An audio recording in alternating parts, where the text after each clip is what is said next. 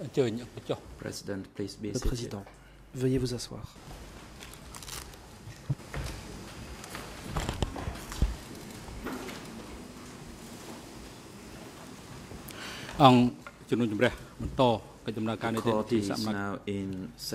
L'audience est ouverte.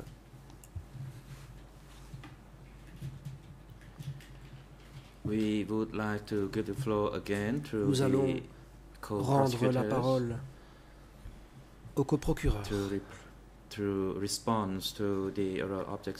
You may pour qu'il réponde aux objections orales qui ont été soulevées. Good morning, Je Mr. President, and good morning, Your Honours Bonjour, Counsel. Monsieur le Président, Madame, Messieurs les juges. From the co-prosecutor's side, just a brief Pour uh, notre part, correction to our submissions yesterday une before brève correction we continue. à nos observations d'hier Um, avant de poursuivre. uh, we made reference to Hier, um,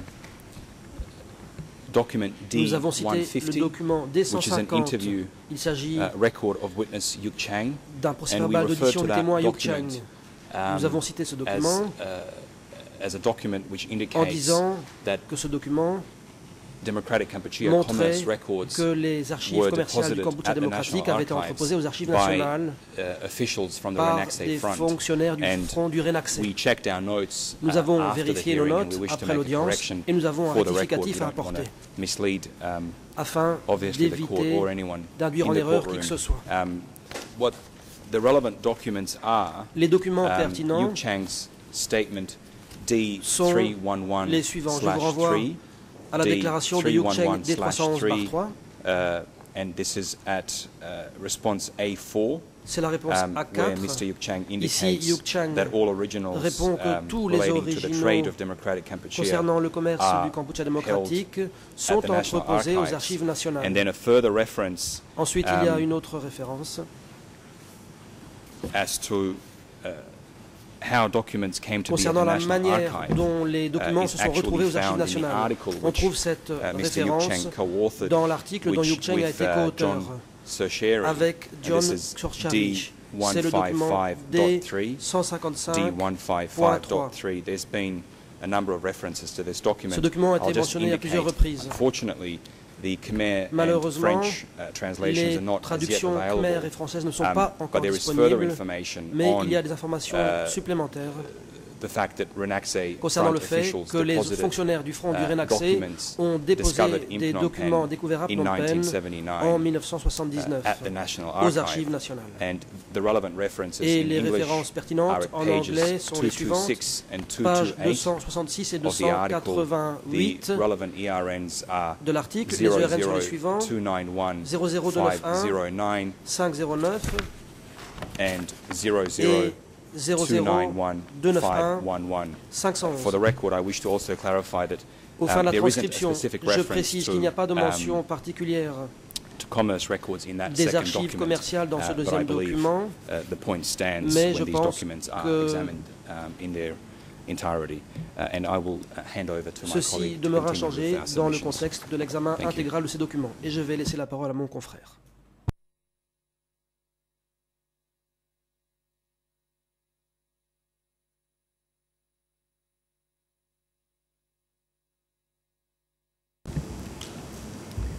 Merci. Euh, bonjour, Monsieur le Président, Mesdames les juges. Thank you very much. Et messieurs les juges.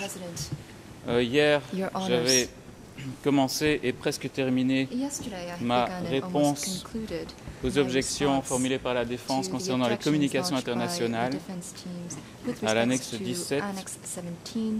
Annex 17. et je vous avais dit que parmi les 149 I stated documents qui font l'objet des débats, 147 euh, documents that 70 we are venaient des archives du ministère français des Affaires 68 étrangères et the 68 National Archives of the French Ministry of Foreign provenaient euh, des États-Unis. Il me restait à traiter pour être complet de 11 documents qui figurent dans cette même catégorie. Et il y a d'abord quatre 11 documents d'Amnesty International. category. There are 11 documents that come Ces documents ont été obtenus de obtained et les coprocureurs ont DCCAM. demandé aux juges d'instruction de les placer au dossier, ce qu'ils ont accepté. Ce sont Les pièces de procédure D84 These are et records D313. of investigative acts under D84 Quant à leur pertinence, euh, D13. trois des documents d'Amnesty are International sont adressés à Q Sampan ou font référence au rôle joué par Q Sampan en tant que président du Présidium d'État. Et le dernier document parle du rôle joué par Yang Sari. en tant que ministre des Affaires étrangères. Ces documents ont aussi trait aux politiques menées par les dirigeants Khmer Rouge dans le the cadre de l'entreprise criminelle commune et spécialement au sort réservé aux ennemis de la Révolution et aux conditions de travail dans les camps de travail.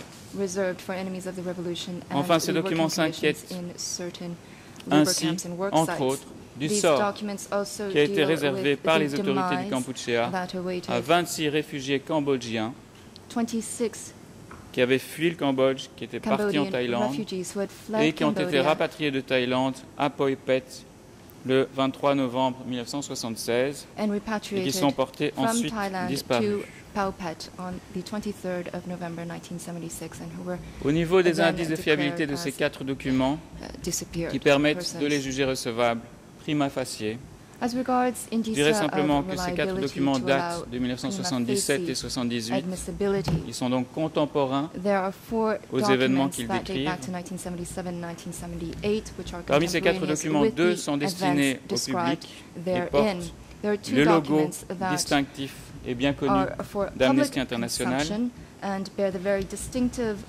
Le contenu des quatre documents correspond bien aux objectifs de l'organisation Amnesty International qui, vous le savez, travaille pour la libération de personnes privées de liberté du fait de leurs opinions, de leurs origines ethniques, de leur couleur ou de leur langue.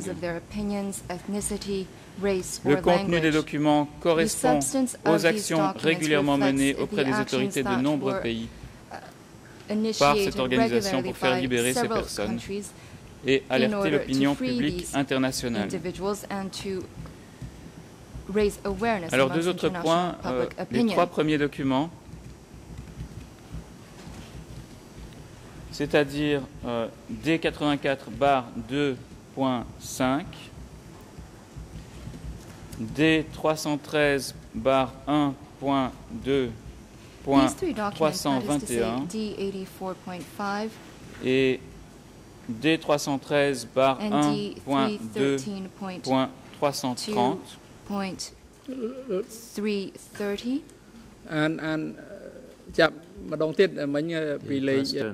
le président, pourriez-vous répéter les cotes des documents, s'il vous plaît, et je vous prierai également de ralentir la cadence.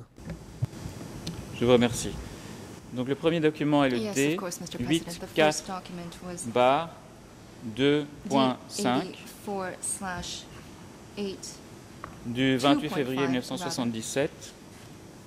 that is dated the Le 2nd of deuxième est 1977. The D313 second is D313 bar slash 1.2.321 du 3 mars 1977. That dates back to the 3rd of March Et le 1977. troisième And the third document is D313 D313 bar slash 1.2.330. 1.2.330. Ces trois documents These se renvoient l'un à l'autre. to one another, et font tous référence aux lettres they all envoyées à Q Sampan, reference to letters that were sent to, notamment concernant le sort des 26 Cambodgiens réfugiés en Thaïlande renvoyés au Cambodge, comme je l'ai déjà dit. Vous noterez aussi qu'il y a un document parmi les archives françaises qui corrobore le contenu des documents d'Amnesty International.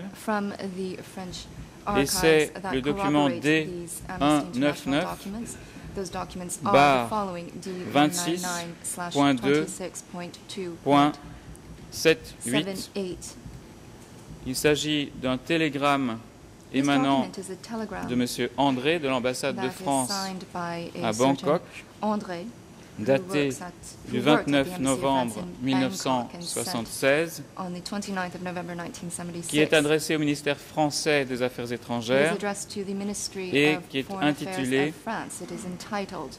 renvoi de réfugiés cambodgiens dans leur pays d'origine. Ce document discute de ce rapatriement forcé le 23 This novembre document discusses 1976 the forced repatriation de ces that 26 occurred on the réfugiés 23rd cambodgiens qui avaient fui la Thaïlande, qui avaient fui vers la Thaïlande un mois plus tôt. Et il y a même davantage de détails. Les réfugiés sont décrits comme étant entravés, ayant eu les yeux bandés en traversant la frontière, blindfolded while they were et ils comprenaient des anciens militaires de la. République khmer, ainsi qu'un enfant de those refugees 11 ans. Donc vous voyez que pour ces quatre documents child of 11 d'Amnesty International, il nous paraît que les indices de fiabilité sont présents et devraient vous permettre de les juger recevables prima facie. Il y a également deux documents qui viennent des Nations Unies. Le premier Those are, D56 firstly, D56 tiret doc point doc 290. 290. Il s'agit de la liste provisoire des délégations à la of 39e delegations session de l'Assemblée générale. attended the 39th L'authenticité est établie. Il s'agit d'un document officiel des Nations Unies. Il n'y a pas d'indice d'altération de ce document. Il est inclus dans la collection suédoise dont nous avons déjà abondamment parlé. Il concerne le rôle de public Khieu Sampan document. après It deals with 1979. the role of Mr. Kyo Sampan after 1979.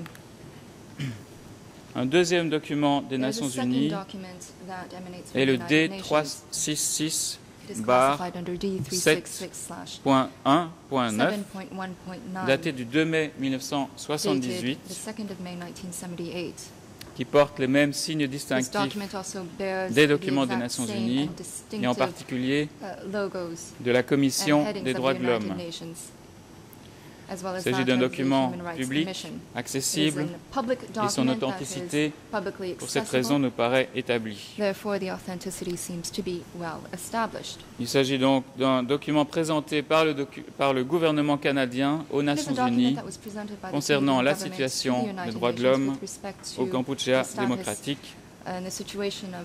Il a trait à l'évacuation forcée de Phnom. Penh, democratic parle en particulier des de l'évacuation des malades et des blessés des hôpitaux au moment de cette évacuation. Il nous paraît donc pertinent. Et c'est un document obtenu auprès de DCCAM.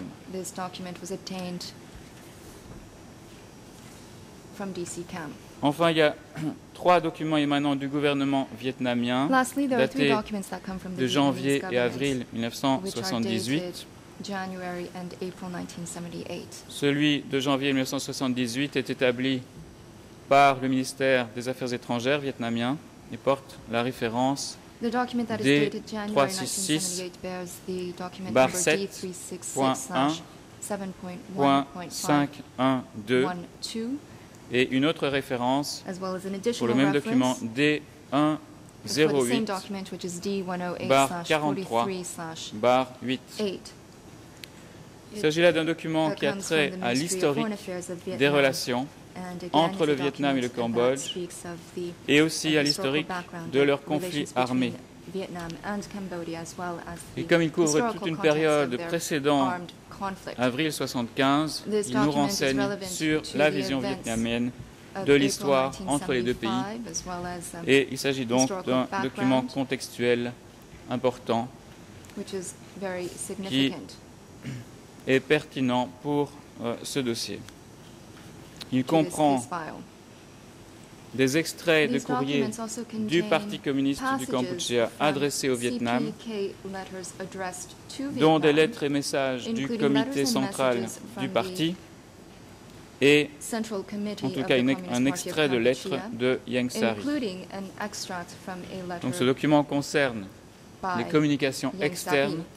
Du Parti communiste du therefore ainsi deals with the que le external rôle communications de of the Yang Sari. CPK, as well as the role of Mr. Yang Sari. Le deuxième document est le The second document D108 is D108 bar slash 28 28 point 230. point 230.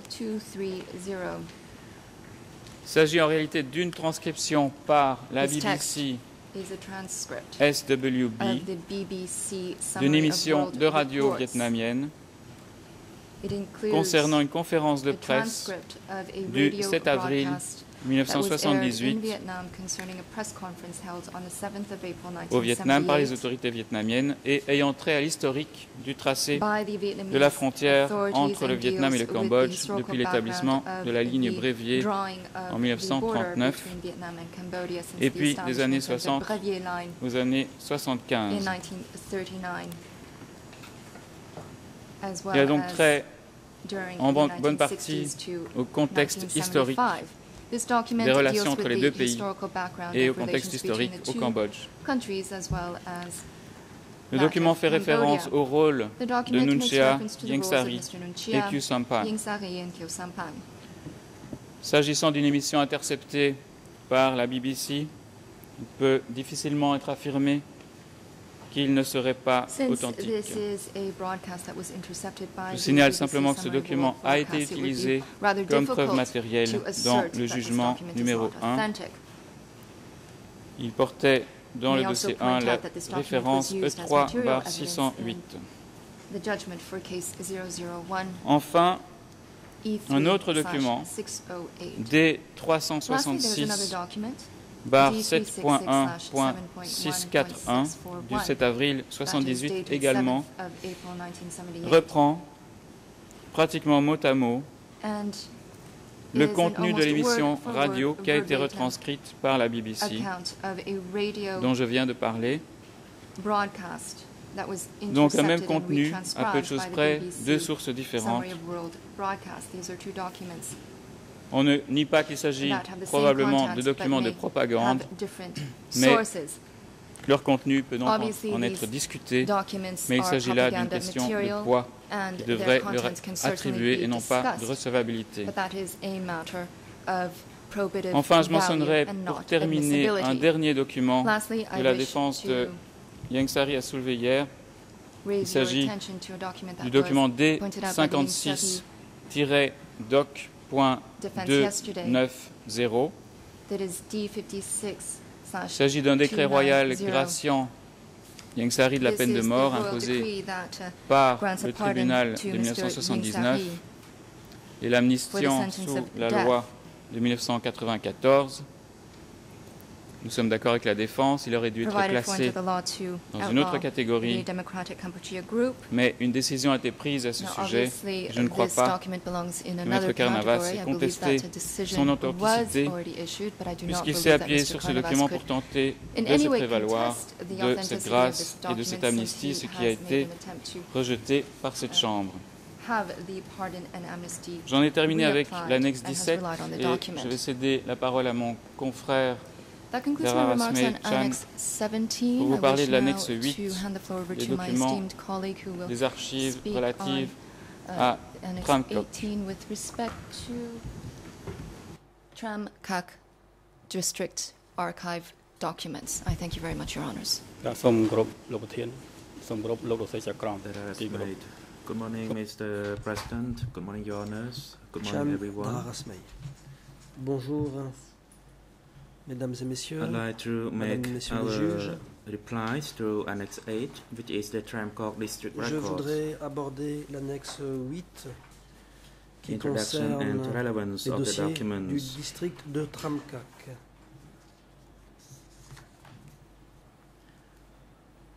applicable Notre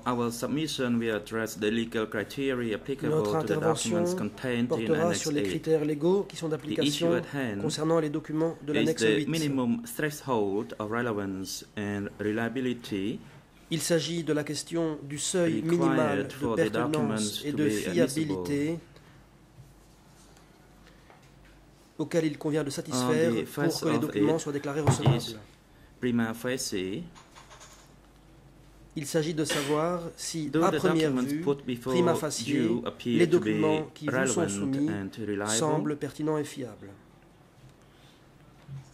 Your Honours, in determining the admissibility of these Madame, Messieurs les juges, you au moment consider the de vous prononcer sur la recevabilité de ces and documents, vous devez prendre en considération l'ensemble des indices internes et externes de fiabilité et pas uniquement la possibilité Pursuant de reconstituer la filière de conservation issues only deal with the probative value conformément à votre propre jurisprudence. Les autres questions n'ont trait qu'à la valeur probante your examination attribuer à of ces documents. Ce qui interviendra lors de votre évaluation des éléments de preuve. I will explain why these documents are relevant Je to the vais first phase of Vous the expliquer pourquoi ces documents sont pertinents dans le cadre de la première phase du procès.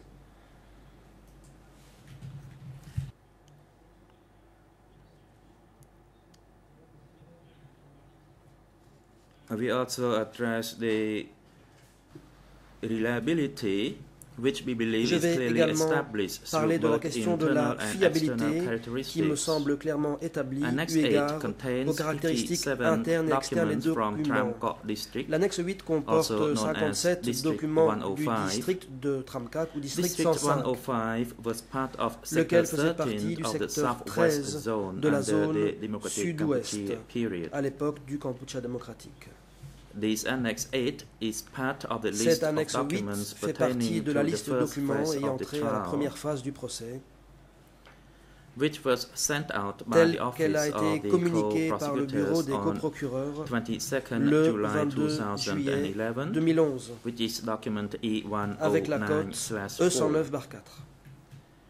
The previous Annex La 8 précédente annexe 8 of our April de notre 2011 liste documents list, de documents that is document E E9/31, E9-31 dealt d'avril with case 2011 002 as a concernait le dossier numéro 2 and dans son intégralité 138 et documents comptait from 138 Tramcock documents district. du district de Tramcak. In July 2011, the En juillet have therefore 2011, selected the documents les most coprocureurs relevant ont to the procédé first à une phase of the sélection trial, en and I would like retenant to clarify les certain documents points regarding this les plus pertinents dans le cadre du premier procès.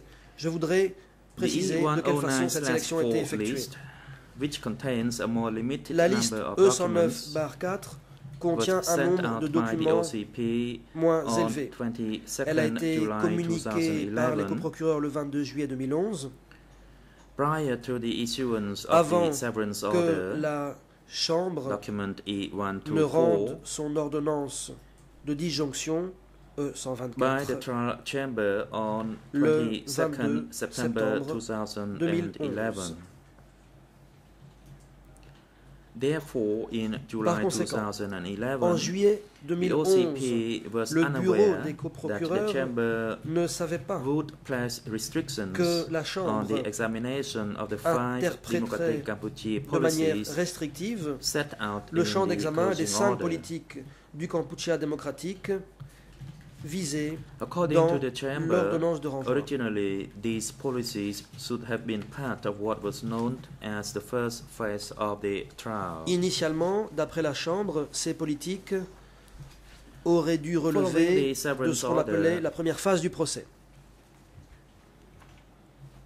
they are now part of the Mais suite à l'ordonnance de disjonction, ces politiques concernent les faits qu'il est prévu d'examiner dans le cadre des audiences ayant trait à la première phase.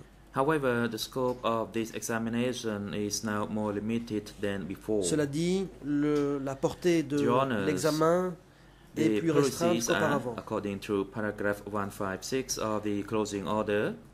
Je vous renvoie au paragraphe 156 de l'ordonnance de clôture. Ces politiques sont, Premièrement, le déplacement à plusieurs reprises de la population des agglomérations vers la campagne, as well as from et one rural entre area les to zones another. rurales, Two, the Deuxièmement, establishment and operation La of création cooperatives and et l'exploitation de coopératives et de camps de travail. Three, Troisièmement, La rééducation des mauvais éléments and the killing of enemies, both l'exécution inside des and ennemis outside the party qui se trouvent tant à l'intérieur qu'à l'extérieur du parti. The targeting Quatrièmement, of specific groups, La prise de mesures particulières à l'encontre de certains Vietnamese, groupes spécifiques, notamment les Cham, les Vietnamiens, and former les officers religieux bouddhistes et les anciens responsables fonctionnaires militaires et and leurs former familles military de la personnel and République five, et cinquièmement the regulation la of marriage. réglementation des mariages. Thus, in July Ainsi, en juillet 2011, 2011, it was unclear il to n'était the pas clair pour les that the coprocureurs evidence to be que presented les preuves regarding these qui policies seraient présentées concernant ces politiques et en particulier concernant la politique visant des groupes spécifiques se limiterait relevant to the elaboration of these policies aux preuves ayant trait à l'élaboration de ces 17 politiques avant le 17 1975. avril 1975. The severance order document E124 Dans l'ordonnance de disjonction State that E124, il est no cooperatives, que worksites, security centers les faits examinés au cours du premier procès relevant to the third phase of ne population concerneront aucune coopérative, aucun camp de travail, aucun centre de sécurité, aucun site d'exécution et aucun fait relevant de la troisième phase de déplacement de population. whereas the closing order has a much Dans broader scope. l'ordonnance de renvoi, par contre, le champ des We questions couvertes, like to est beaucoup plus large. nous voudrions dès lors apporter la 57 précision suivante. Lorsque les 57 documents ont été 138 sélectionnés, documents related Parmi les the Tram Court 138 district, documents ayant trait au district de Tramcock, les coprocureurs in determining relevance whether or not the documents related to the se sont targeting of demandé enemies si or les documents specific groups. avaient trait aux mesures prises contre This certains groupes, in the points of the spécifiques. indictment section et ce en vue d'examiner la relevance des différentes pièces. 8, Je vous renvoie document E au descriptif E109/4. intitulé Point de l'ordonnance de renvoi à l'annexe 8 du document E Moreover, 109 The defense has argued that these documents La défense relate to, amongst a others, soutenu que ces the documents operation concernaient of the notamment le fonctionnement Security du centre Center de sécurité de and of the Krang Tramcourt district Chan cooperatives, et des which were coopératives excluded from the du district trial de by the chamber in its September soit des sites 2011 qui ont severance order. été écartés par la Chambre dans le cadre du premier procès en vertu de l'ordonnance de disjonction datant du mois de septembre 2011. I will now talk about the relevance as follows? Nevertheless, all of these 57 documents remain Pour utterly relevant to the first phase of the cette, first trial.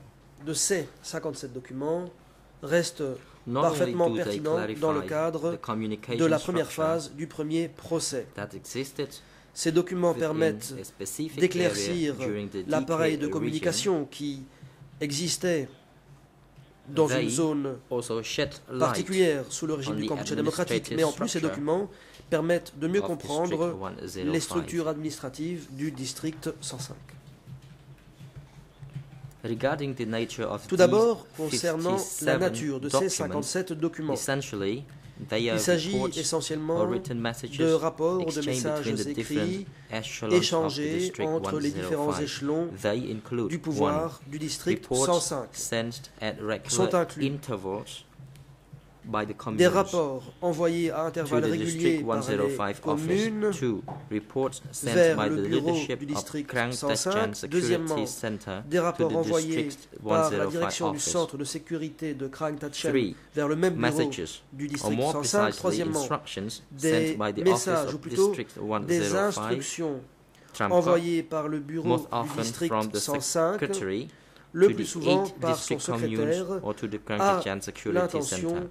Des huit from the communes du district to the ou Krangtachan du Security centre de sécurité Center. de Krang Tachan. Five, occasionally Quatrièmement, des rapports envoyés par les communes au centre de sécurité de Krang Tachan. to the office Cinquièmement, district 105 and six. Plus rarement, In one case, des rapports envoyés par les dirigeants des the coopératives au bureau du district sector 105. Et 13 sixièmement, il secretary y a un exemple d'instruction donnée 10 par le secrétaire du 05 secteur 13 to the secretary of Krangtachan Security Center. et par le secrétaire fact, du district This 105 body of documents aux constitute a unique dirigeants example du of written centre de sécurité de communications Krang exchanged Tachan. at the local level. Ces documents de l'annexe one 8 single sont un cas unique de The communication rest of the écrite case échangée au file niveau local dans un 002 seul district. contains many telegrams, Le reste du dossier 002 reports, written messages, comporte de nombreux télégrammes, rapports, messages ou instructions écrites, mais pour l'essentiel, ces communications étaient échangées entre les secteurs et les zones, and the zones, the zones entre les zones et le centre du parti, center, or the ou entre les divisions et le centre du parti. Unlike in the rest of the country, À in la this différence instance, archives de ce qui s'est passé dans le reste du pays, district were found. Ici, des archives Because of their uniqueness relatives à un seul district particulier ont été découvertes. and relevance Compte of tenu these archives Du caractère unique et de l'importance et de la pertinence de ces The pièces, constant exchange of instructions ces of archives on specific questions revêtent and in une importance particular, indéniable. on the enemy Il y a eu un situation échange constant d'instructions, de rapports sur des questions précises et en particulier la situation des ennemis, suivi de nouvelles instructions ou décisions prises is par extremely l'échelon supérieur. Tout ceci revêt une grande valeur instructive. a lot about the control Ceci en dit by long the upper sur le contrôle qu'exerçaient les sector échelons supérieurs du district ou du secteur sur les communes et les coopératives et sur le centre de sécurité which they were responsible for. dont ils étaient responsables. This is perfectly in line with the CPK statutes Ceci cadre parfaitement avec les statuts du PCK et avec le système de communication qui fonctionnait depuis le haut vers le bas, système établi par le comité central du Your l'interprète se reprend par le comité permanent du comité central du PCK. are in particular Madame, Messieurs les juges, Ces documents 64, sont en particulier pertinents 68 par rapport aux paragraphes 70 64, of the closing 68 order. et 70 de l'ordonnance de clôture, car il structure concerne and les structures administratives locales. 83 Ces documents 84 sont également pertinents eu égard aux and 90 paragraphes 83, of the 84 et section 90 entitled de la partie intitulée Communication Appareil de communication, which is channels and means of communications. Our goal in introducing these documents En produisant ces documents, notre objectif n'est pas de nous étendre sur leur contenu. We are seeking to show Notre the est plutôt de démontrer 105 à travers l'exemple du district the hierarchical 105 links comment les rapports hiérarchiques entre les différents échelons des autorités locales s'articulaient pour former une chaîne de commandement verticale. Nous entendons également montrer comment l'autorité du régime a été effectivement exercée par le biais d'un système de communication fréquente entre les différentes entities. entités hiérarchiques. Your Honours, Madame, Messieurs les juges, contrary to what Mr. Kanawha contrairement stated on à ce qu'a prétendu Maître Carnavas lundi, that some of these documents are summaries le fait que certains de ces documents soient des résumés d'aveux the par Anne, le secrétaire du centre de sécurité de Krang Tachan, est dénué de toute pertinence. Once again, I Une stress fois de plus, that we are not je le souligne, to rely notre intention on the n'est pas de nous appuyer sur la teneur these summaries as such de for the ces purposes of the résumés first dans le trial. cadre du premier procès. We would like these summaries to be admitted Nous into the que case ces file only because they Résumés were soient admis au dossier uniquement au motif qu'ils ont été ultérieurement communiqués par le secrétaire du Centre de sécurité 105. locale We merely au wish to district highlight 105. the existence of this Nous voulons mettre en exergue l'existence de cet échange d'informations et de ces communications concernant les ennemis, ainsi que le fait que toutes les to autorités locales 105. devaient faire rapport au district 105. Mr. Kanavas and Mr. Maître et Maître Sonaroun ont parlé de certains documents. illisibles. Yet all of these Or, documents are perfectly Tous ces documents sont parfaitement lisibles. and have been translated Ils ont d'ailleurs été French traduits en and français or English et ou en anglais, except one, à l'exception d'un seul document qui porte la cote D157.86. D157.86. For the most part, Ce document is document difficult but not est impossible to en de nombreux endroits difficile à lire, We shall mais pas impossible with à the déchiffrer. translation service Nous allons soulever la question auprès des services de traduction effective translation afin de veiller à ce que ce document. soit traduit en temps opportun. Now, I would like to J'en draw viens à présent attention to Aux indices examine the internal de and fiabilité external interne et reliability externe de indicators ces of these 57 documents. 57 documents. One. សូមអនុញ្ញាតឲ្យយើងឲ្យខ្ញុំចាប់ផ្ដើមជា Allow me to begin with their origin and the absence of the Je originals. souhaiterais commencer par leur provenance et l'absence The original d'originaux. documents have indeed never been found. Les documents originaux This is in line n'ont with the effectivement statements made by jamais été Mr. Chang retrouvés. Yu in et his OCIJ ce qui a été interview déclaré par Monsieur Yo. euh, Referring to document euh, dans son D40/2 entretien, dans and during the PV 6th d'audition de témoin February D204.2 2012 aussi, hearing lors de l'audience Document du 6 E1 slash février 2012 dans le 39.1 document E at E1 EIN bar 0 39.1 0 et la cote ERN est seven, 00 81 77 six 8 through 1 zero, 7 zero, 6 à seven, 00 seven, 77 eight, one, 8 1 77. 77. This issue is addressed over several pages of the Plusieurs OCIJ pages interview euh, de and seems ce PV d'audition sont consacrées clear. à cette question et les choses semblent According to Chang tout à fait Yu, claires. expert witness, TCE Selon Three, uh, 8 informed him that he obtained TCE the euh, originals near Takao lui a dit avoir from obtenu les documents originaux près de Takao, près de Thus, Supirine. It is obvious that the originals existed. Cela signifie donc Mr. que les originaux ont bien existé. himself stated that the documents Monsieur had initially Supirine been gathered from the villages or communes and subsequently obtained from the district office.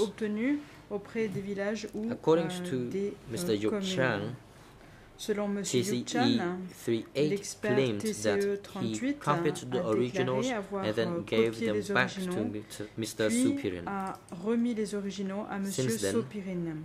Depuis lors, has declared on numerous occasions a that the originals have disappeared. que les documents originaux avaient tous disparu. Mr. Yuk Chan Monsieur Yuk Chan, based on the indication provided by TCE à la 38 suite des repeatedly indications tried to fournies par l'expert find TCE 38, these copies a at the essayé à plusieurs reprises de Genocide retrouver Museum. ces documents. He was au musée finally de able to Tulsland. locate part of these copies Il in the museum's enfin pu archives. trouver une partie des copies de ces where they dans had les been archives du left musée by de Tulslang, TCE où l'expert 38 several years 38 before. Les avait déposés These plusieurs années auparavant. may have been found under a dresser. Ces documents auraient pu être One or more retrouvés copies sous were une later commode. found by Mr. Chang Yu D'autres exemplaires ont, ont été trouvés par Tuas euh. Yu Cheng euh, dans une des salles euh, fermées de Tulslang. to be able to obtain additional clarification from sur cette expert question, T nous espérons pouvoir CE38 obtenir regarding des how he informations obtained supplémentaires the original de District 105 records à savoir où est-ce and the qu'il a obtenu conditions les under which originaux des these documents records du were district then 105 copied and et la deposited façon at dont ces documents ont été copiés et déposés We à fully accept that we only have copies. Oui, nous This acceptons que nous Does n'avons not que des copies. necessarily mean that prima facie, Cela ne veut pas dire, these copies prima are facie, inadmissible, que ces photocopies, que ces such is the photocopies position ne of sont this pas chamber, recevables. and it has been C'est la position reiterated qui a été on adoptée numerous par cette occasions. chambre auparavant et cette position a été réitérée à de nombreuses, Number rep- two, à de nombreuses reprises.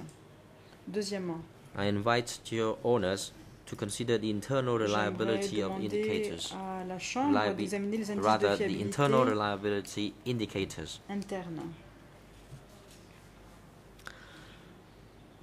These documents are consistent inter se and with the Il region's existe une policies, grande namely cohérence in entre relation to the ces documents Khmer Crown, et avec the les soldiers and politiques officials of the Khmer Republic, développées par, par le the régime, Vietnamese and the new people. notamment à l'égard Once des Khmer again, Krom- Krom, des Whilst we do soldats not et des wish to fonctionnaires enter into euh, a euh, detailed examination of the des gens contents du of peuple these nouveau. documents, Encore une fois, nous ne voulons pas entrer dans le détail du limited contenu des analysis documents eux-mêmes, thereof is required mais devons- nous devons in faire une, une demonstrate analyse their limitée, consistency within the afin framework of the de vertical montrer cha- la chain, cohérence de ces chain documents dans le cadre d'une chaîne verticale. This consistency commandement. strengthens their Cette cohérence and renforce la fiabilité et la crédibilité Seven lists de ces documents. of the Khmer, Khmer Crown population Cette were established by the de Khmer, communes of Tram de Khmer Krom sent ont to été the district les communes du district de 105 Tramkak office. Document district 105. D Il s'agit du 108 document slash D108 barre 26.293 26 barre 293. list 24 Khmer Crowns Ce from document est une liste de 24 Khmer de la commune de commune. D157.19 is a list of 54 crackdown at the District 105 level. D157.3, dated January to May 1977, contains community reports on Khmer Crown families, among others. D175 Le document H D175 .39 and et le document D157.49 dated D157.49 the daté 29th du April 29 avril 1977 are 1977 two lists sont deux listes 10 où Khmer sont Crown from des Kurs dizaines de Khmer commune Krom in which de la the commune rank de of those who were former soldiers is de plus la mention du rang de ceux qui étaient militaires dans l'ancien régime. IS 18.34 document dated IS on the 30th of April 18.34 daté du 1977 30 avril is a 1977, list il of s'agit 8 d'une Khmer liste Crown de from 8 Khmer Krom Angtasom, de la Angtasom commune commune. d'Angtasom.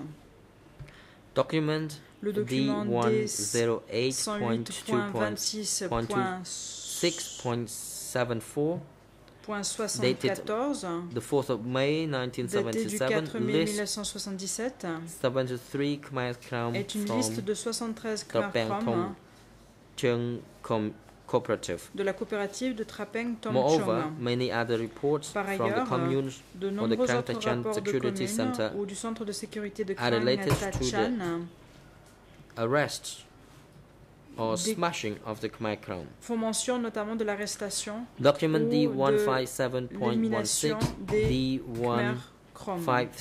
Le document D157.35, D157.35, D157.51, that is from Propel D157.151, Commune, D157.16 D157.56 from Kos et le document D157.56 de la commune de le 57.58 document report D157.58 Chom qui est un rapport district, de Chom envoyé au district, le document D157.76 qui est un, rapport des communes de Tom Neng Bong Nang et Trapeng Tombeng et le document D157.101 or D2.1 D157.101 ou D2.15.10. Therefore, we can see the efforts Nous made pouvons by several donc communes voir euh, que plusieurs communes of District euh, 105 du district of Tramkak to 105 make de list Tramkak of Khmer ont, Crown. euh, pris un grand The soin à diligence confectionner un with certain which nombre the, de re- listes the des Khmer arrests of Krom. these individuals are reported On should note also aussi la be diligence à emphasized. rapporter les In our arrestations de ces view, personnes. This reveals a consistency Cela in the démontre à notre avis application une of grande policies cohérence toward the Khmer dans Crown by the l'application national and de la local politique des leaders. that many du pays des dirigeants locaux. Cette liste montre qu'il ne s'agit pas d'événements isolés, mais il s'agit bien d'une réponse à une demande faite par la hiérarchie, à savoir le district 105 et le secteur 13. La deuxième catégorie de 45 documents est encore plus importante. Out of the 57 documents refer 47 to the arrest or smashing of 57 mentionnent former Khmer Republic soldiers and officials d'anciens soldats ou fonctionnaires de la to their République ou des membres de leur famille. There are lists sent from the communes to the, the district 105 and more importantly information exchanges between the communes Kangtachan Security Center, District 105 and Sector 13 regarding this category of individuals. For instance, document Z157.3 is a list of Khmer Republic soldiers drafted by Nguyen commune. La commune de D157.31 contains reports from different communes about former soldiers. Document IS 18.33 contains reports from March to May 1977 with statistics about the number of relatives of Khmer Republic soldiers who were smashed. Document IS 18.26 18.26 That is reports from contient des rapports de Angtasam communes and Legbo d'Angtasam et commune de about the les arrest of Bo two concernant Khmer l'arrestation Republic de deux soldiers. soldats de la Document République khmère. IS Le document IS 18.27 18.27 dated daté du 19th 19 euh, January janvier 1977 1977. Document Le document 157.46 D157.46 is a report est un from rapport de la Angtasam commune communes to the district de about the arrest Angtasam of the Khmer au- adressé au Republic district soldiers. concernant l'arrestation de soldats de la Document République khmère. Le document D157.56 is reports and letters from con- Cours contient des rapports et des cooperative lettres about the de la betrayal coopérative de committed Kous by the Khmer concernant la Republic trahison de soldiers. militaires de la Document République khmère. 2 forward slash 78.3 is an important document. It contains a report from Frank Chan about the confession of a former soldier as well as instructions from the district chief to arrest other Khmer Republic soldiers. d'autres anciens soldats de la République Similarly, khmer. De la même façon, Document IS Le document 16.65 contains instructions from the same kit to arrest other former soldiers as well as an order d'un dénommé kit from the Secretary of Sector 13 to smash prisoners. Once again, ainsi que l'ordre du we see euh, that an individual's position as a former. Khmer. Republic official Encore une fois, or soldier seems to be an important point that is referred to frequently in those l'individu en tant communications. euh, officiel de la In our view, soldat semble être un point this renders documents communications. consistent À notre into avis, say cela and with the regime's policy. à penser que ces documents In a similar vein, sont cohérents avec la a certain politique du number of documents refers to lists or arrests un certain nombre de documents Vietnamese renvoient à des listes displaced persons falling under the new people or the 7 April people category. Such references are in line du with the policies deployed by the du 17 regime. avril ont été arrêtés. Ces Your Honours, références May I draw your Euh, attention to il s'agit other donc de mentions cohérentes avec les reliability politiques développées selon nous indicators? par le régime. J'aimerais maintenant passer à d'autres indices As for the de format, fiabilité. These documents S'agissant are often de la forme, handwritten du format de ces documents, ces and docu- do not always documents sont souvent manuscrits et ne suivent pas presentation. toujours une présentation très They précise. nonetheless have some similar characteristics. Même s'il y a un certain nombre Local de similarités, the limited les resources autorités locales that existed in the ont utilisé communes des moyens and the security center. In des moyens limités à leur disposition au niveau des communes et des centres de sécurité. Et ils utilisaient souvent des cahiers d'école qui portent la mention table de to multiplication make their reports. pour établir The leur language rapport. used in these reports Le langage is utilisé also dans ces rapports typical of the democratic est typique period de la période du following Kampuchea démocratique. the following terms are On frequently used. retrouvera ainsi Anka, fréquemment les mentions enemies, smashing, des termes purges, encart ou des mots comme l'ennemi, le fait d'écraser, les purges, la vigilance révolutionnaire, camarades, people, frères, camarades bien-aimés, 17th le peuple April, nouveau, April, le peuple du 17 contemptible, avril, le June, méprisable, traitor, or le terme yun, traître ou rééducation. interviewed by the investigating judges, authenticated or collaborated certain reports, for example, by identifying local countries or communes which made up District 105. The names cited correspond with those found in District 105 report. The witnesses are TCW, 6 des témoins TCW 680, 680, OCIG interview le D procès verbal et le 23 document D 2 forward slash 232 93, 93, witness Le témoin TCW 505, TCW 505, OCIJ interview D le procès verbal 232 et forward le slash D 16 232 and bar 16 D et D 232 forward 232 slash bar 73. 73. Witness Le témoin TCW TCW 518, 518, OCIJ interview le procès verbal d'audition 232 et le document forward D slash 232 bar 78 78 witness et le témoin TCW TCW 301, 301, OCIJ interview D le procès verbal d'audition et le document D 232 forward slash 232 46. bar 46. Your Honors, Madame, Messieurs les juges, the points above that I raised ensure the reliability les points que j'ai soulevés and the relevance of the documents that we ont donc trait à intend la to be put before the chamber. euh, des documents qui sont placés devant la Some Chambre. of these witnesses Certains might de be ces heard témoins by the seront chamber peut-être entendus for the par cette purposes Chambre of the first phase. dans le some cadre might de la not. première phase du procès.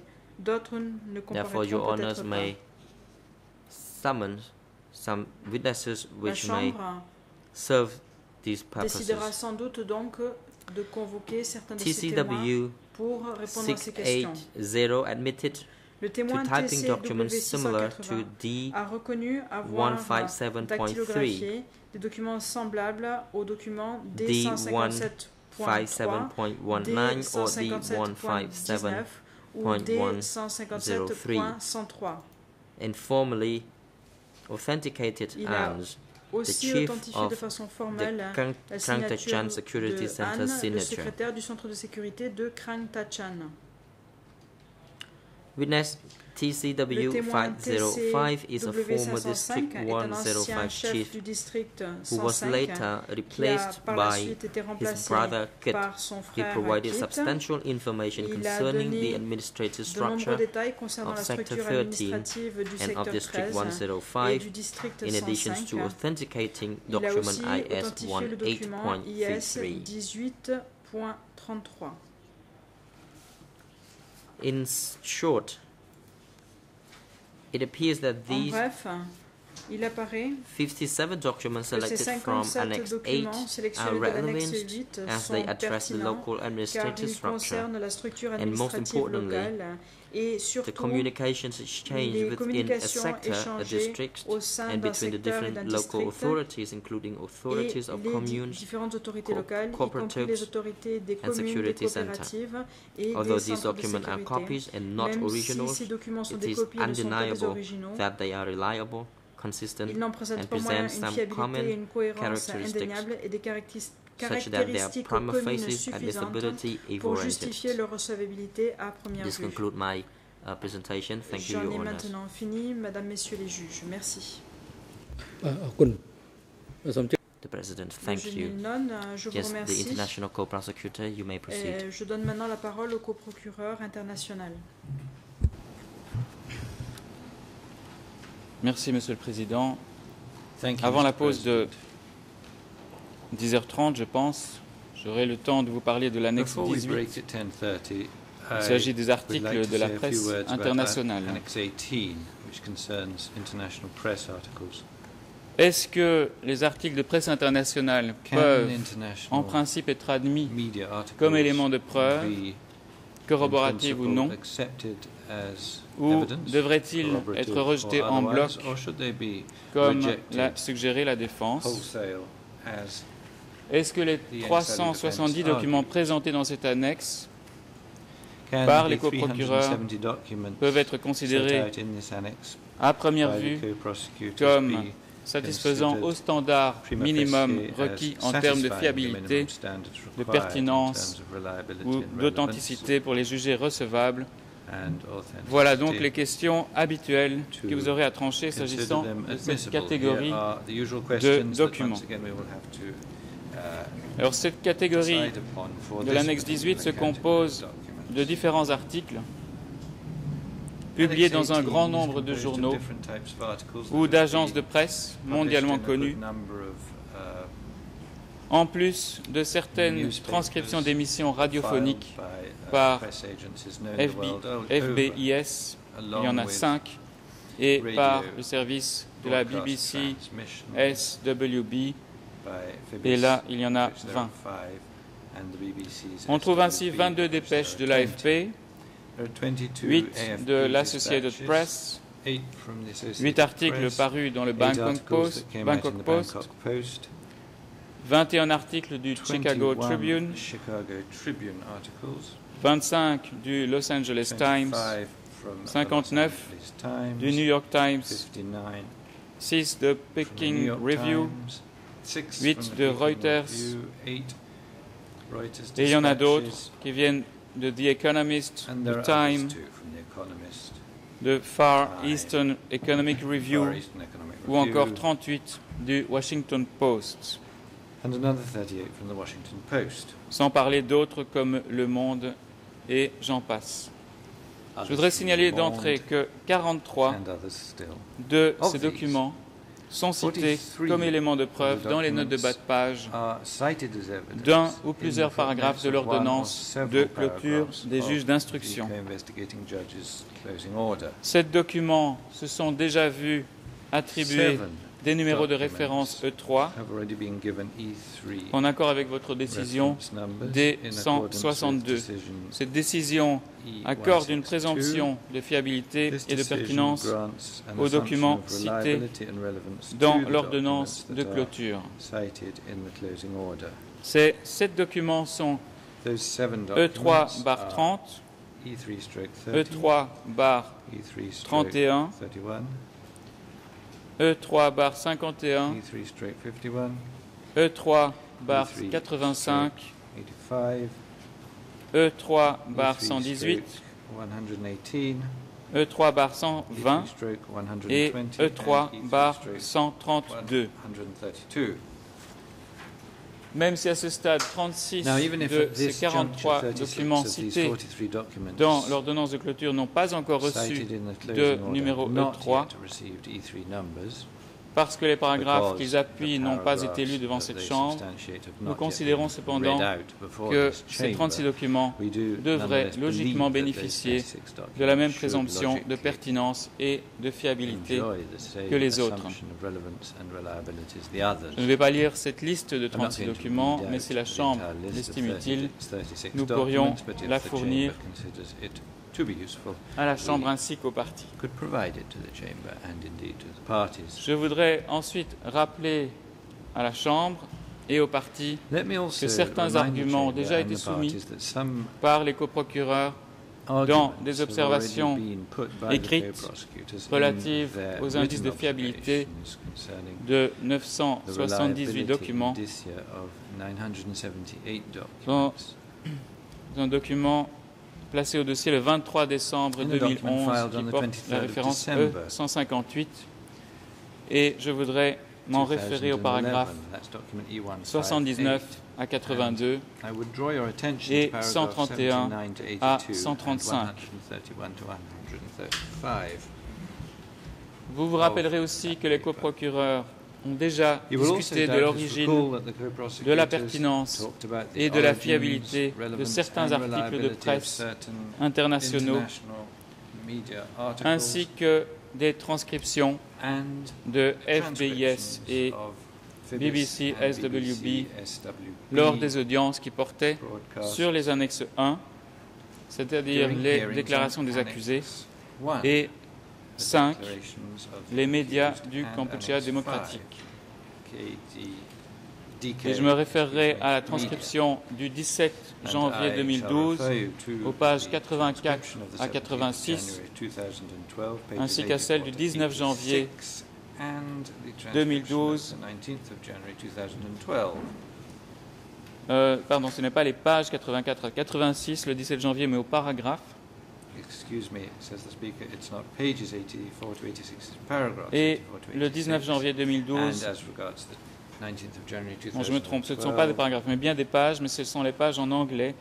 Euh, le 19 janvier 2012, ce sont les pages 38 à 49, It is in fact the qui concernent donc particulièrement les documents de Phibis et BBC SWB. 38-49, which particularly concern Alors avant de répondre spécifiquement aux and arguments et aux objections entendues de la part de la défense, ces deux derniers jours, je voudrais d'abord préciser ce qui constitue, selon nous, la pertinence de ces documents dans le cadre de ce premier procès. Il faut, à mon avis, opérer une distinction entre les périodes de parution de ces distinguish 370 between the documents, articles ou retranscriptions. uh, En effet, articles, 30 documents articles ont été publiés entre le mois de mai out. 1970 30 were et le published 17 between avril the months of May 1975. 1970 and the 17th of April Ces articles 1975. présentent une pertinence particulière quant au contexte to historique. Certains de ces articles ont trait au rôle et fonctions des accusés durant le régime de la République mère. Enfin, durant la période du régime de la République mère, lorsqu'ils étaient en guerre contre cette république. uh, republic 241 regime when they were articles ont été publiés durant la période où les Khmer 241 rouges ont exercé le pouvoir. Entre le 17 when avril the Khmer Rouge 75 et le were 7 in janvier power between the 17th of 79. April 1975 and the 7th of January 1979. La pertinence de ces articles est qu'ils concernent eux aussi soit le contexte historique, soit le rôle des accusés avant et après le accused 17 avril before and 75, after the 17th of April 1975. mais ils concernent aussi la structure administrative du centre avec ses différents organes et échelons de pouvoir. Ils concern concernent les communications utilisées par le régime et les cinq politiques mentionnés par les juges d'instruction comme faisant partie du plan criminel commun.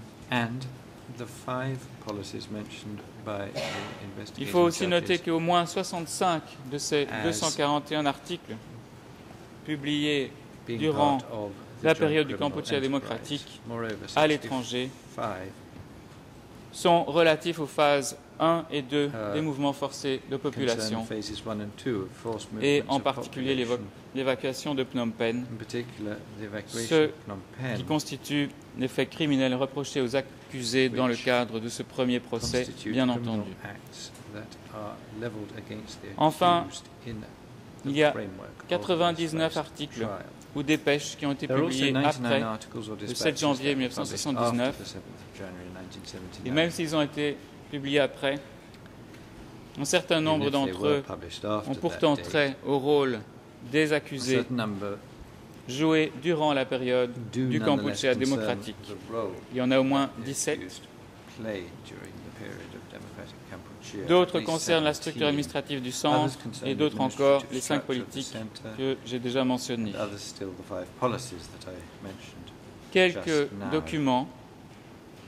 paraissent ne porter que sur l'accusé documents et je m'en remettrai à la sagesse de la Chambre concernant le sort qui leur sera réservé. La plupart des articles de presse internationale publiés après le 7 janvier Most of the international media 1979 articles that were published after the 7th of concernent surtout 1975 concern le rôle, les actions et le comportement des accusés après le régime, mais donnent des, renseignements importants également sur la continuité de l'engagement des accusés au sein des Khmer rouges ainsi que sur leur personnalité.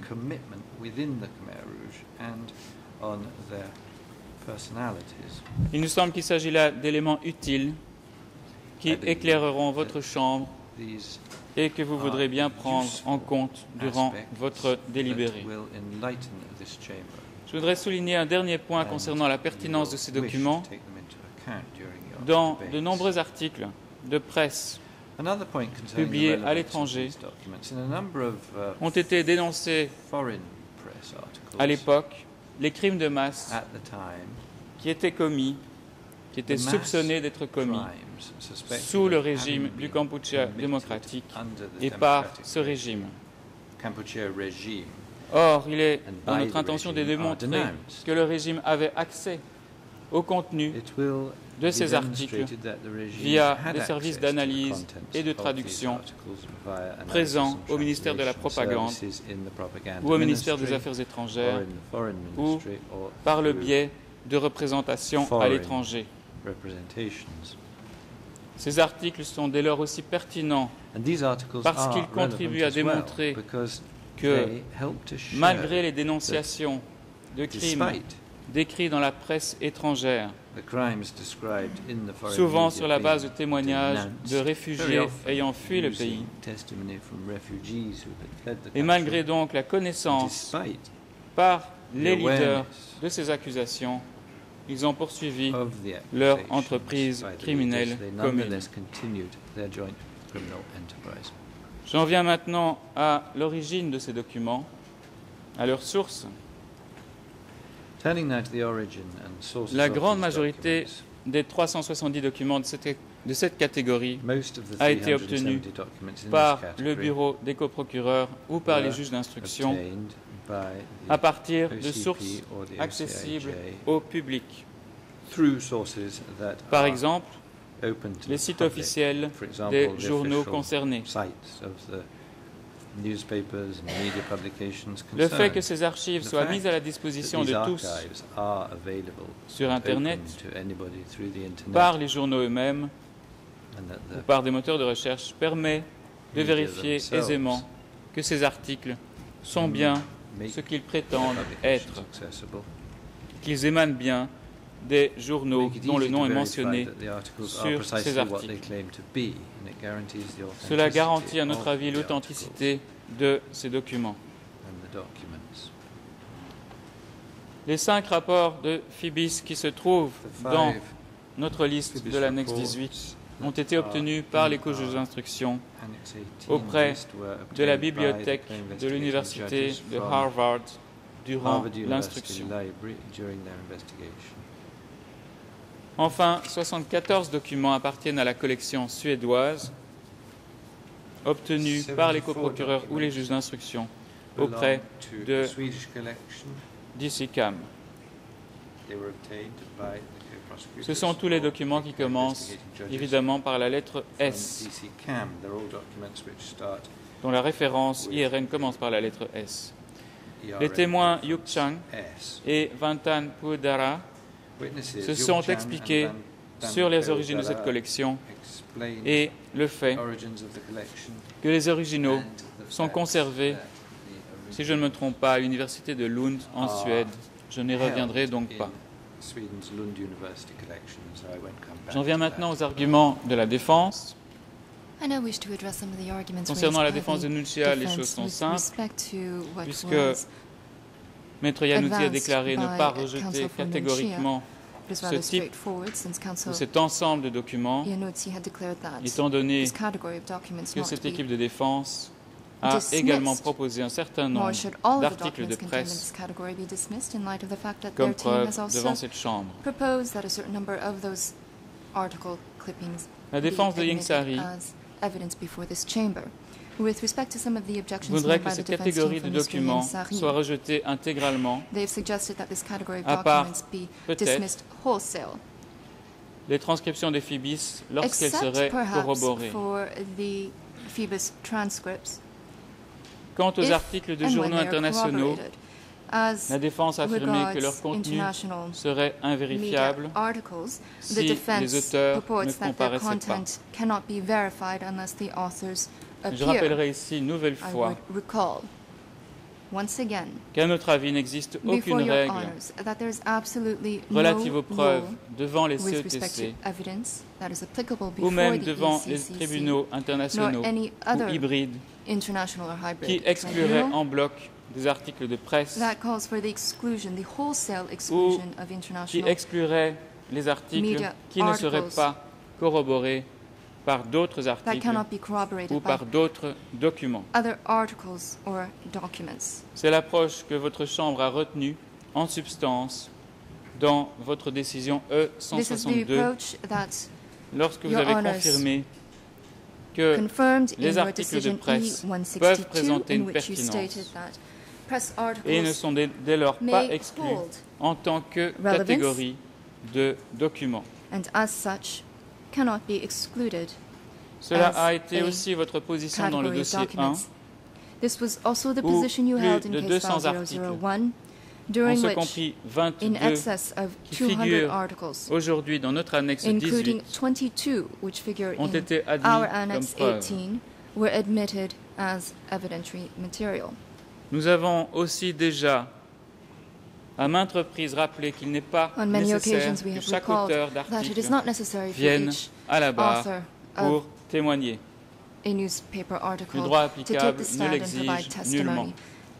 The applicable law simply does not require this. Maître Guisset, conseil de Kyusampan, who represents Mr. Kyo a mentionné que certains that articles, et on a cité six, je and crois, en particulier, six, ne portent pas le nom de leur auteur et que cela poserait donc problème.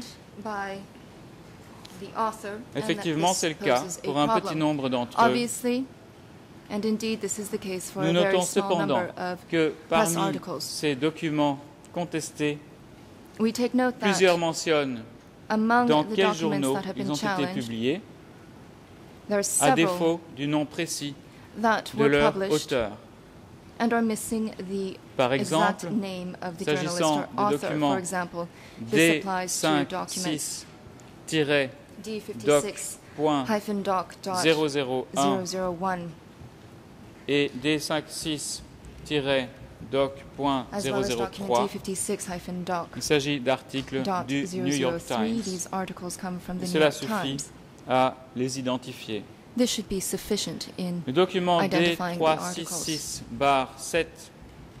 D366-7.1.242 As for document D366/7.1.242, est, selon ce qui est indiqué dessus, un article according to what paru is written on the document, is dans American Exile Newsletter à an article that Stockholm was en published in mars Stockholm 1975. in March 1975. De plus, comme pour la grande majorité des documents de cette annexe For the vast 18, majority of the documents that les événements qui sont rapportés 18, dans les documents ne mentionnent pas, qui ne mentionnent pas le nom de leurs auteurs, sont aussi authors, corroborés par d'autres documents. but they are also Et corroborated dès lors, pour cette raison, documents, and it ne is devraient exactly pas for non this plus reason être that they écartés. should not be dismissed.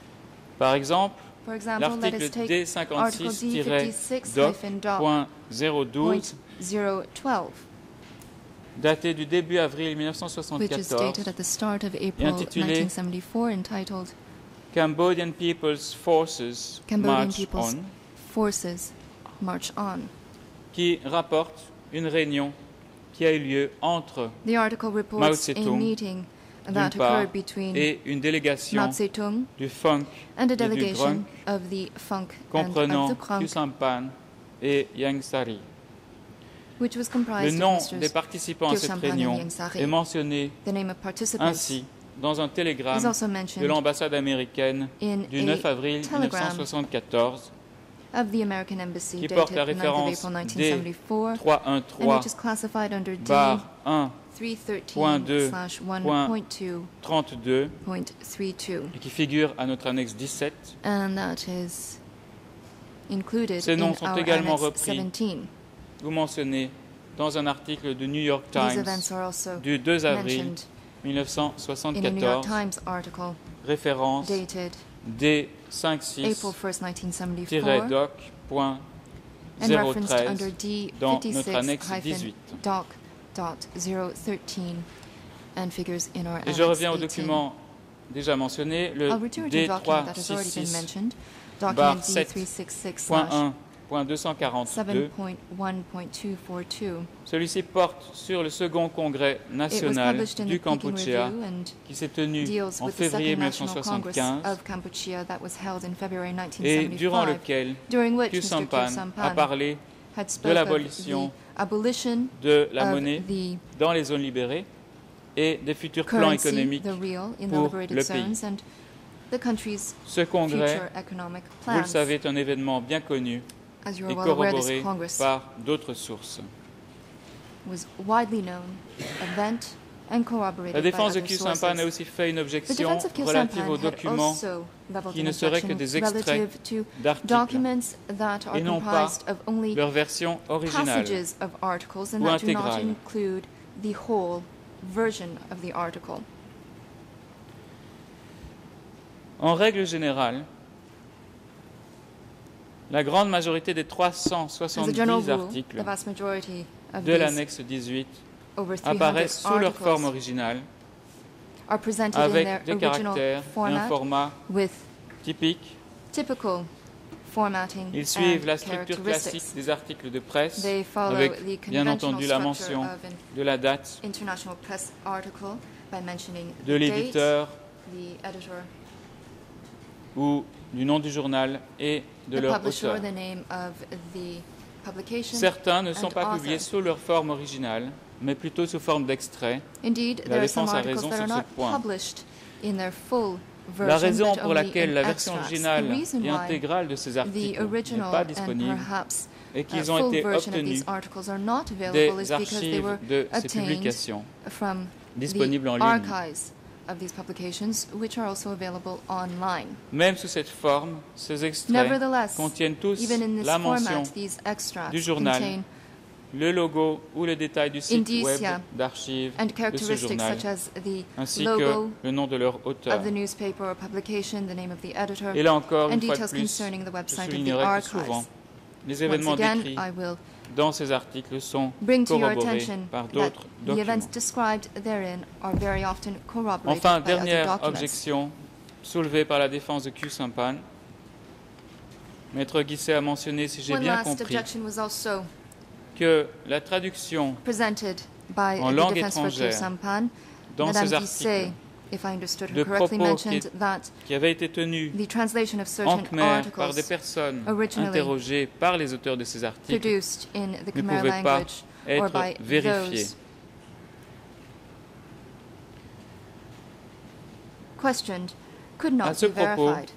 La défense de Q Sampan n'a cependant rien As trouvé this, à redire lorsqu'elle-même a proposé quelques articles de presse. Ou to utiliser comme, comme preuve devant la Chambre dans son document E109 1.1 has de juillet submitted that 2011 certain press articles be et en particulier dans la section relative au nouveau document. document E109/1.1 Dans certains de ces articles, July 2001. des propos sont attribués à des personnes cambodgiennes qui, statements pensons, are being ont to probablement pu être interrogés en langue khmer. Cambodian individuals who may have been. Là non plus, la traduction ne peut être language. vérifiée, mais la défense ne présentera pas d'objection but au I do not document believe that the qu'elle aura elle-même present any présenté. objections to documents Par exemple, that they have Un article paru dans Newsweek, intitulé en anglais Cambodia, Two Views from Inside, Cambodia, Two Views from daté du Inside. 17 mai This article dates back to 1976. the 17th of May 1976.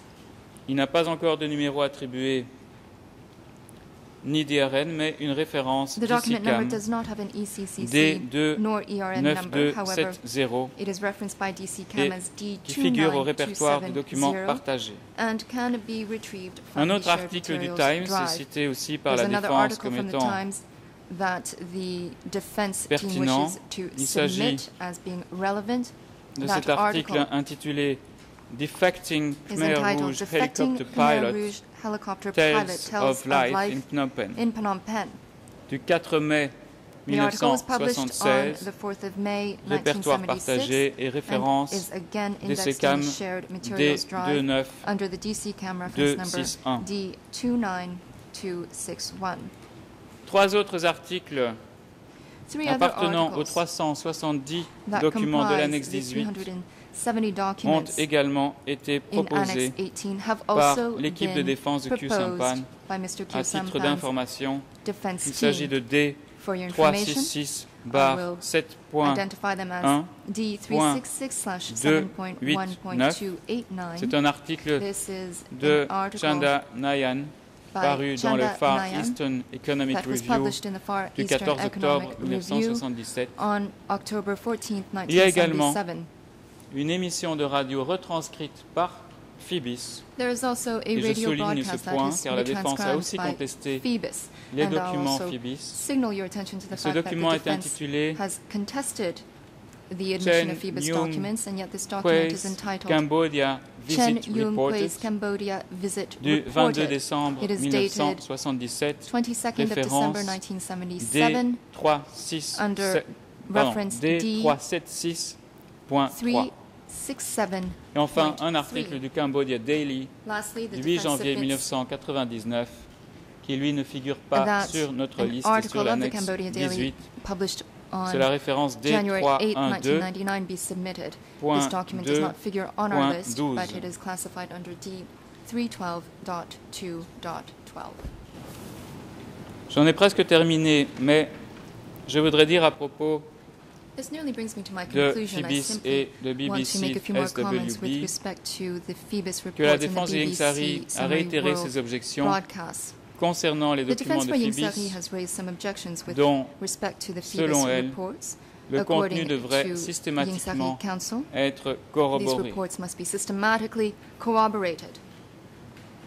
Mais je pense que la défense ne peut pas nier que les I'm transcriptions of the view that the de not tout deny comme celles de la BBC SWB, transcripts, qui figurent à l'annexe BBC 18 et ailleurs dans les autres annexes, et nous l'avons déjà démontré 18 lors d'audiences précédentes, annexes ne font que reproduire ce qui a été effectivement diffusé par les radios nationales dont Radio Phnom Penh airwaves, et d'autres radios du sud-est asiatique ou de Chine, and other Southeast Asian radio même du stations, Japon. or over Les transcriptions de Phoebus et de BBC SWB ont déjà fait souvent during previous hearings. dans cette salle d'audience l'objet d'illustrations multiples already been used par on numerous les occasions coprocureurs as et nous, illustrations vous- nous pensons vous before avoir déjà convaincu de by leur the fiabilité et de leur valeur. and we believe that we have persuaded you of their reliability Ainsi, nous avons fait valoir que ces transcriptions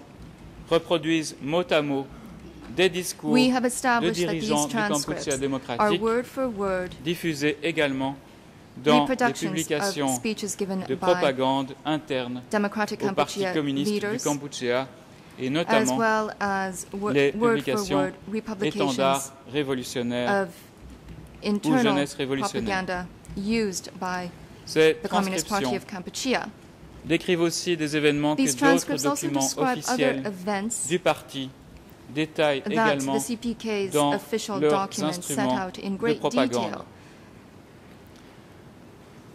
Ainsi, nous voudrions dire qu'à notre avis, la conclusion, qu'à notre avis, en conclusion, l'ensemble des documents we et are of the BBC opinion SWB, that in conclusion, all documents, et non pas seulement ceux qui seraient corroborés and seulement, peuvent être considérés documents, comme and not only hautement fiables et pertinents. Et je conclus sur cette annexe highly 18 en demandant bien entendu que l'ensemble de ces articles de presse internationale ou submitting dépêche that all soient admis comme recevables dispatches prima facie, documents étant donné leur cohérence, leur pertinence admissible, et leur fiabilité. their relevance, en remercie. Je crois, euh. Monsieur I le Président, qu'avant de commencer une autre annexe, il believe serait peut-être prior indiqué, to si making vous comments confirmez on qu'une pause soit marquée. Je vous remercie.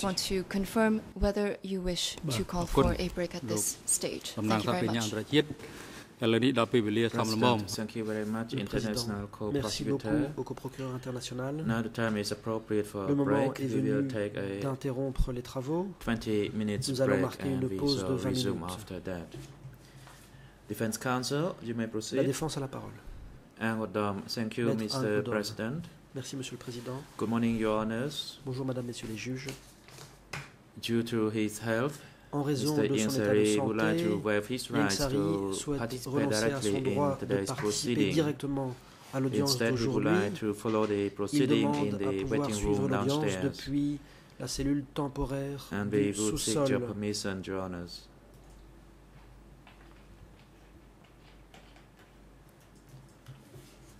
President, Le having président. heard the request by Mr. Ian Sari through his defense counsel, par Yang Sari not par to directly participate conseil. in today's proceeding, L'accusé demande à être excusé du prétoire that is for both this morning session and Pour the afternoon session, and instead to follow the proceeding in the waiting room L'accusé downstairs. demande à pouvoir suivre l'audience depuis to la cellule temporaire en raison de son état de santé.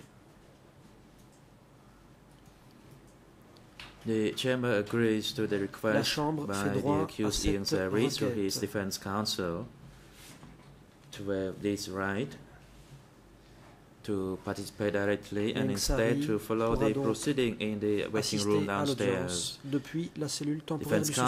counsel, you are required to La deliver défense est priée immediately de the, remettre the immédiatement letter le to waive his document right, de renonciation either idoine with his signature or portant la his signature thumbprint. ou les empreintes digitales de son client. The IT, you are instructed Les to services link the proceeding sont to the waiting room De downstairs. veiller à ce que le matériel audiovisuel fonctionne Security guards, you are instructed dans la cellule temporaire.